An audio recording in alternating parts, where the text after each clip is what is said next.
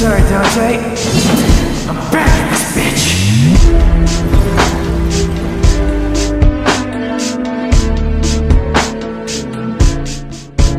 Hey, girl, everything you want?